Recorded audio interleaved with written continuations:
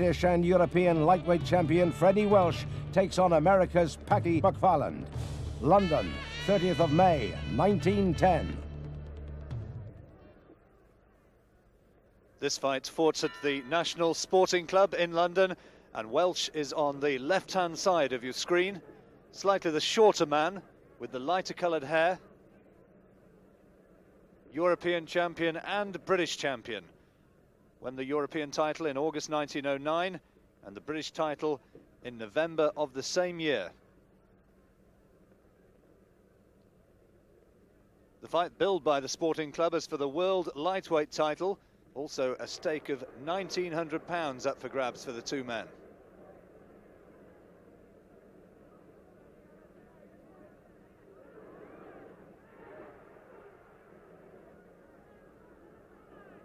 McFarland looking to rush in, call him the pride of the stockyards. Tough man from the Irish quarter of Chicago.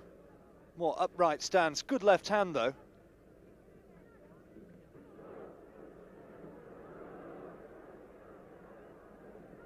And another good flashing left hand from McFarland. And already Welsh is knowing he's very much in a fight here.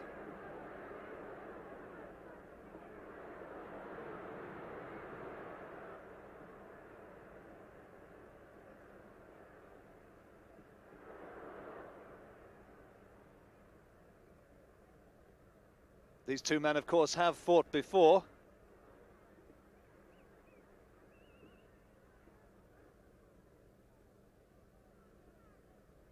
They met in 1908 in the United States. Welsh lost on the first occasion and the second fight, 25 rounds as a draw.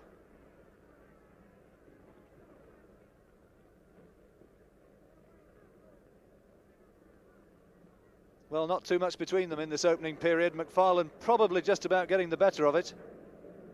Welsh looking to tie him up.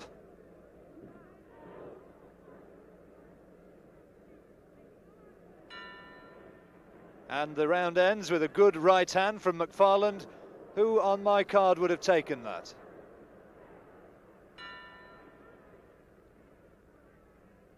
So into the third round.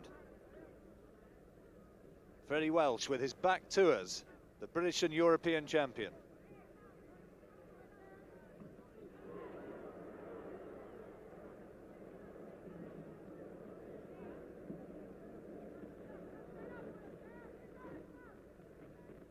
You can see these two men so well matched.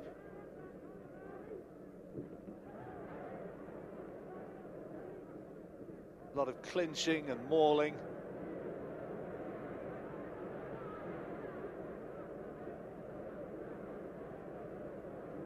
McFarland maybe just beating Welsh to the punch at this stage.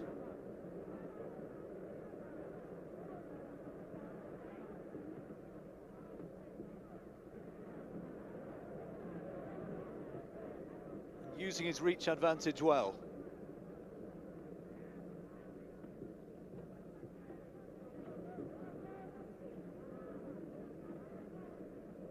Good right hand from McFarland. Again, Welsh just soaking up another left jab and doing not a lot more than just clinch inside, but at last a combination, left-right combination from Welsh. Good right hand from McFarland, good body shot.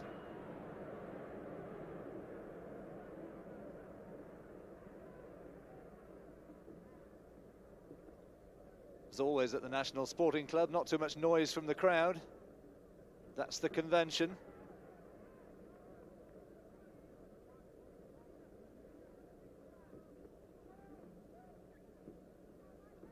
Welsh quick on his feet, starting to use his mobility better, but another good left hand from McFarland, and Welsh took it.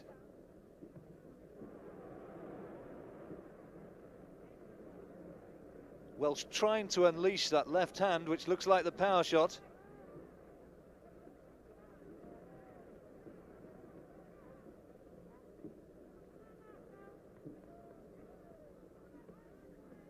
A good chopping right there from McFarland, just 22 years old, clearly a very fit and strong man. McFarland lost his first professional fight by knockout, but he's been undefeated since.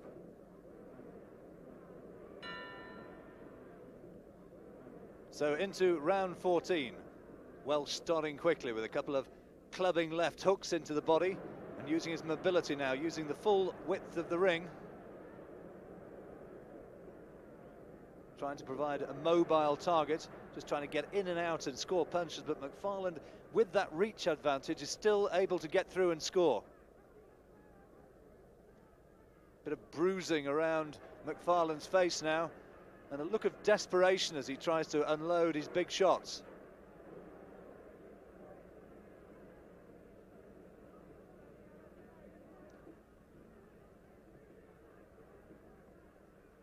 Welsh this time, just holding on. Welsh on the right-hand side of your picture.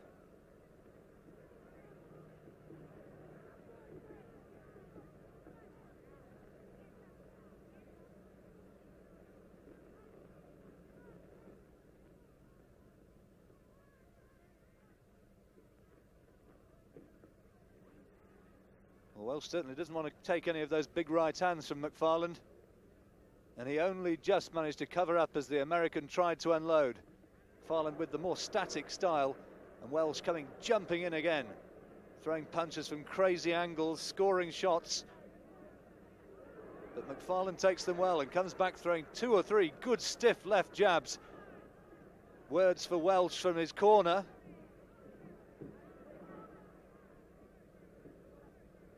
And McFarland's having a good round now.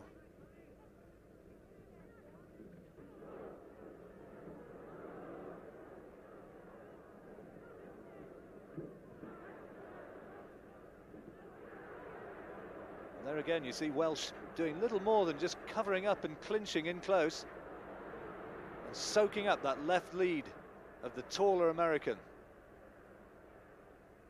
Good right uppercut from Welsh, better work.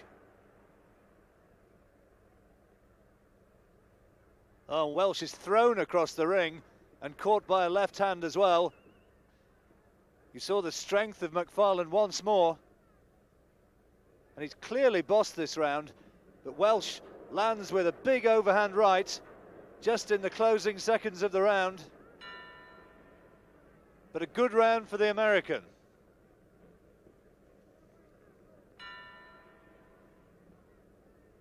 Round 19. McFarland starts it with a, a long left lead. McFarland with his back to us now on the right hand side of the picture. Neither of these men truly destructive single punch knockout artists. Having to rely instead on the build up of points over the rounds.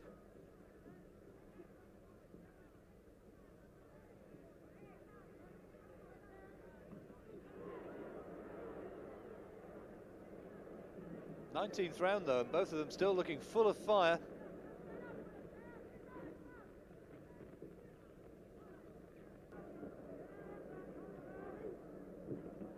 Just get the impression that McFarland may be in close in those clinches, is doing just a little bit more.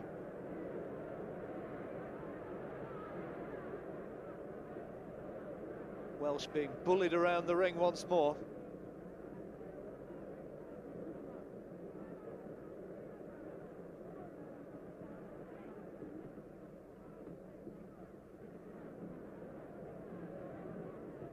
Right left from McFarland again and a left lead.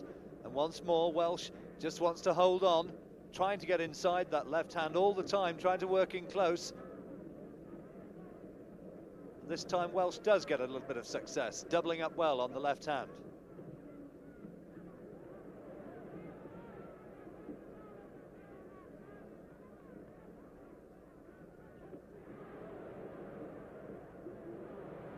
Welsh is back to us, tries to plant the left hand.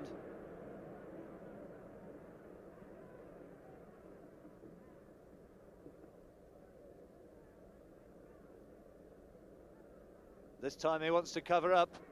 Again, McFarland onto the offensive. Right hand into the body from Welsh, good body shot. And now McFarland wants to lean on. Welsh beating him twice to the punch with the left hand.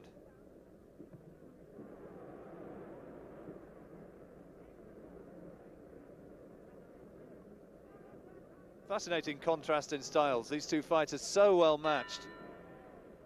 And there again, another close round. So into the 20th and final round. The two fighters just touch gloves. Nice show of appreciation from both men. Is it going to be the Welshman on the left-hand side of your picture, dancing around the ring, or is it going to be the American from Chicago, Packey McFarland?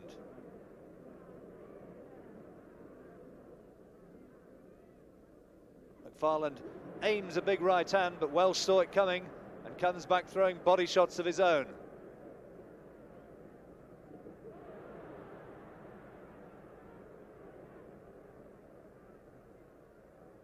Just one big punch might be enough, and there's a good right hand from McFarland, but Welsh takes it well. Right uppercut from the American.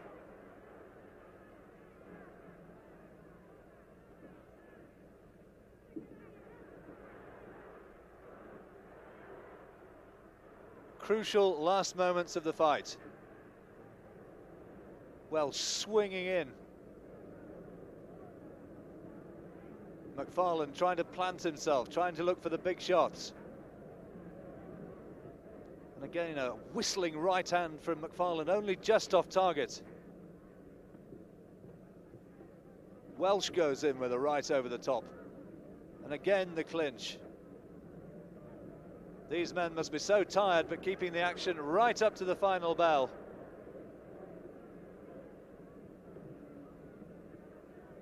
Good right hand from McFarland as they came out of the clinch.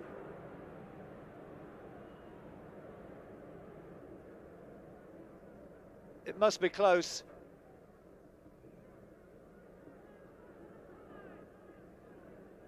Welsh bravely keeping coming forward, although the cleaner shots you sense are still coming from McFarland.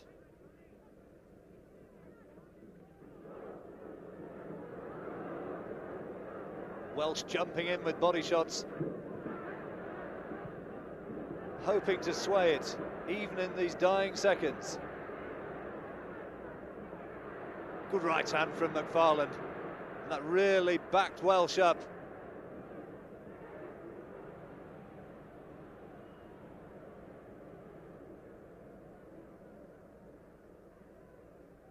Welsh continuing to dive in through desperation.